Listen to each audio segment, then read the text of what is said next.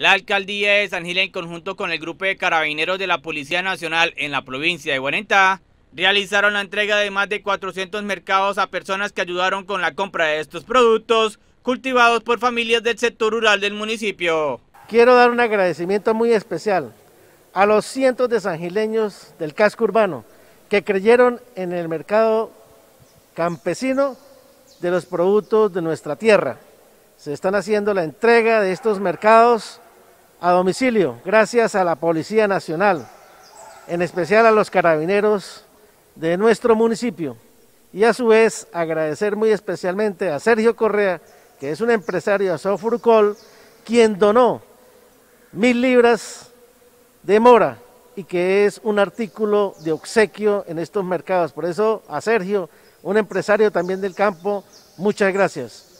Y a todos los que confiaron en este proyecto, a nuestro equipo de trabajo, por esta labor tan hermosa de tener en cuenta a 75 productores de nuestra tierra, de nuestros campesinos, que ayuda a que la economía campesina se vea reflejada en un ingreso para la economía de todos ellos.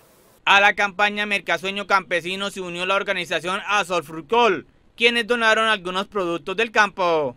A Azorfrucol Santander, a través de la coordinación departamental, nos vinculamos con la administración municipal con la campaña de fomento al consumo de frutas y hortalizas directamente del productor.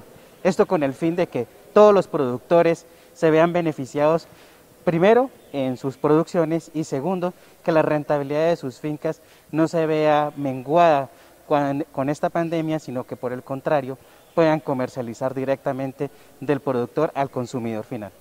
Por su parte, las familias beneficiadas por la campaña dieron sus agradecimientos a todas las instituciones que participaron en la jornada. Bienvenido sea eh, este proyecto por parte del señor alcalde, el doctor Hermes Ortiz y la Secretaría de Desarrollo Rural eh, para que sigan viniendo aquí a las veredas a recoger los productos y nos, eviten a nosotros los campesinos el viaje hasta San Gil.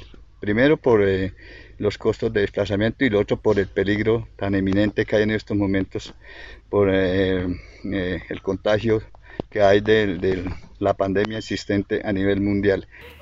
Nos parece muy bueno este proyecto de los mercados que están vendiendo por cuenta de la alcaldía, eh, el arquitecto Hermes con la Secretaría de Agricultura.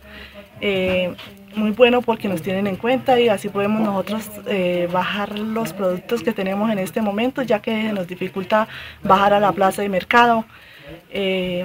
y esperamos que nos sigan colaborando y que la gente siga apoyando estos mercados que son muy buenos para nosotros. Le doy agradecimientos a, nuestro alcalde, el doctor Hermes, a la Secretaría de Desarrollo, eh, al Carabineros, por colaborarnos de verdad que en este, en este evento de poder sacar nuestras verduras, ya que nosotros pues estábamos acá represados con todas las verduras.